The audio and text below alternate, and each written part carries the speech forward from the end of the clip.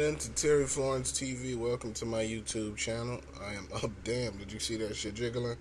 Alright, I am updating you on a new news story. Another black youth killed. He was 24 or 25 um, out in Michigan by three mall cops. Um, he was pepper sprayed to the point where he couldn't breathe. I will have my sexy lady read to you. Go ahead, sexy lady.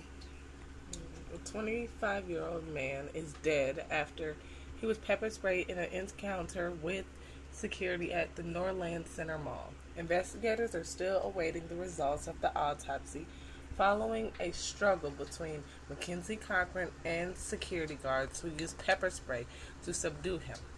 Southfield police says Cochran was observed outside a store a couple of days ago and had revisited the store Tuesday evening. The owner felt uncomfortable and called for the mall security.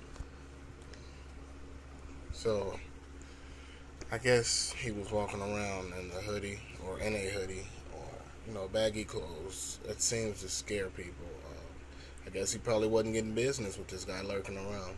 Um, it's sad because it's a lot of black youth dying by law enforcement. Now it's mall cops. I don't know if it's a trend to kill black people now. Um, I believe it needs to stop. You know, tell me what you guys think about this story. You know, you got Eric Gardner, you got Michael Brown, you got Trayvon Martin. This shit is trending like crazy, so I don't know if people just want to get in the spotlight. I'm pretty sure the three won't be charged. They probably get um, leave with pay. They'll be back in the scene. I feel if you can't breathe, um, kind of get off of them or call the ambulance. Just let him die. But um, I did hear that he he got his pulse back, but he later died in a hospital. The family tried to do an interview, but they're devastated by what happened. Um, again, tell me what you guys think in the comments below.